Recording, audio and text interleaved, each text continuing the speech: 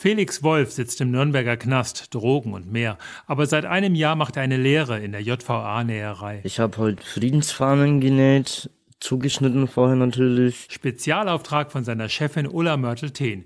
Die ist nämlich ehrenamtlich Kirchenvorsteherin in Fürth und hat den Auftrag mit den Friedensfahnen an Land gezogen.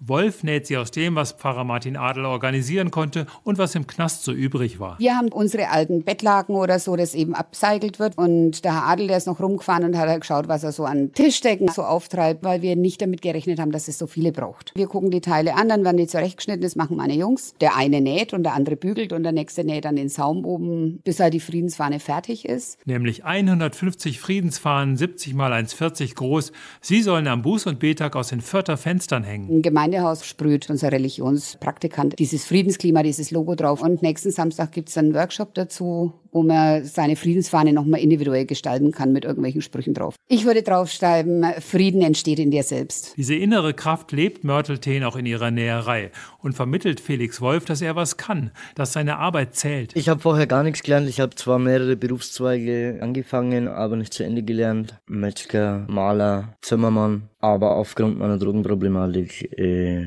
hat das alles nicht funktioniert. Da waren die Drogen dann wichtiger halt. Die Ausbildung in der JVA-Näherei ist ein erster Schritt daraus. Wolf denkt viel nach und auch die Friedensfahnen haben für ihn eine Bedeutung. Ja, insofern ist es nicht wie ein anderes Tischtuch halt, weil es erstens eine Bedeutung haben. Aber Frieden ist in der heutigen Zeit leicht gesagt. Man sollte erstmal mit sich selbst zufrieden sein halt und mit dem, was man erreicht hat und was man erreichen kann, ja.